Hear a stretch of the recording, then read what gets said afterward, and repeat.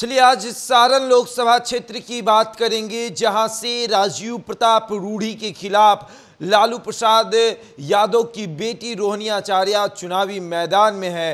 रोहिणी आचार्य अपनी पिता की विरासत को बचाने निकली हैं तो राजीव प्रताप रूढ़ी अपनी विरासत को बचा रहे हैं। और इसी पर आज हम चर्चा करेंगे कि उन्नीस सौ छियानवे में किस तरीके से राजीव प्रताप रूढ़ी पहली बार भारतीय जनता पार्टी के टिकट पर वहाँ से सांसद चुने जाते हैं और उसके बाद उन्नीस में हीरालाल राय राजद के सांसद हो जा जाते हैं। फिर उन्नीस में जब चुनाव होता है तो राजीव प्रताप रूढ़ी भारतीय जनता पार्टी से सांसद चुनने जाते हैं।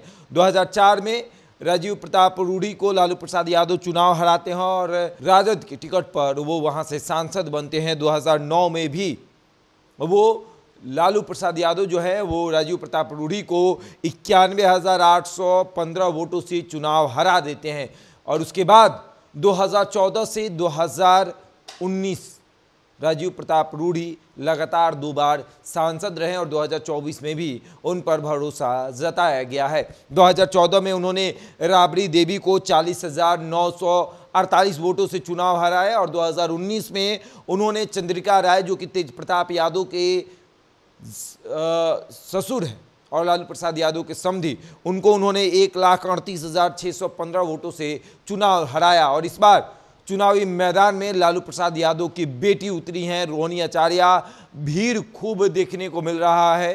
ये सीट राजपूत यादवों का एक गढ़ है। यहाँ पर यादवों की संख्या अच्छी खासी है, राजपूतों की भी संख्या अच्छी खासी है। राजपूतों का भी दबदबा इस सीट पर काफ़ी हद तक अधिक है। भूमिहारों का भी दबदबा इस सीट पर काफ़ी हद तक अधिक है। यहाँ पर राजद और भाजपा लगातार चुनाव जीतती और हारती आई है। दोनों में ही लड़ाई देखने को मिलता है, लेकिन इस बार की लड़ाई बहुत खास है। जिस व्यक्ति ने जिसकी मतलब एक बड़े नेता से लड़ा, उसकी पत्नी से लड़ा और अब उसकी बेटी से चुनाव लड़ रहा है। यानी राजीव प्रताप रूढ़ी पहले लालू प्रसाद यादव से चुनाव लड़े, फिर उसके बाद वो उनकी पत्नी के साथ चुनाव लड़े में तब दोनों आमने सामने रहे। उसके बाद वो उनके समधि से चुनाव लड़े आमने सामने और अब उनकी बेटी से वो चुनाव लड़ रहे हैं और इस बार मज़बूत स्थिति में कौन है? राजीव प्रताप रूढ़ी का विरोध भी है। लेकिन समर्थन भी है। विरोध इसलिए कि वो लगातार वहाँ से सांसद हैं तो इसलिए भी विरोध हो रहा है। और समर्थन इसलिए भी कि उन्होंने लगातार सांसद रहते हुए भी कई सारे कार्य को किया है। और राजीव प्रताप रूढ़ी से भजा रहे हैं या बुना रहे हैं, वो बता रहे हैं कि किस तरीके से हमने अपने क्षेत्र में कार्य किया है और हमारे कार्य से जनता प्रसन्न है। तो वहीं रोहनी आचार्य उनकी नाकामियों को गिनवा रही है और बता रही है कि किस तरीके से जो भी काम हुए, वो हमारे पिता के द्वारा किए गए कार्य है। 2004 में हो या फिर 2009 में।